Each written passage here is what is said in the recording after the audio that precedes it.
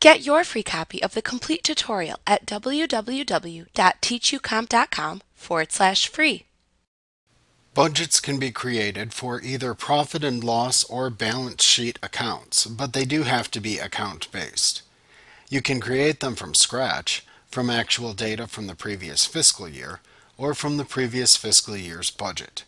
A budget is uniquely identified by its fiscal year the account type, either profit and loss or balance sheet, and if desired, further identified by customer job or class. To create a budget, select Company, then Planning and Budgeting, and then select Set Up Budgets from the menu bar. If you have already created a budget, you can click the Create New Budget button. In the Create New Budget window, choose the fiscal year for your new budget, and then choose to create a budget for either profit and loss or balance sheet accounts by clicking the desired option button. Then click the Next button to continue.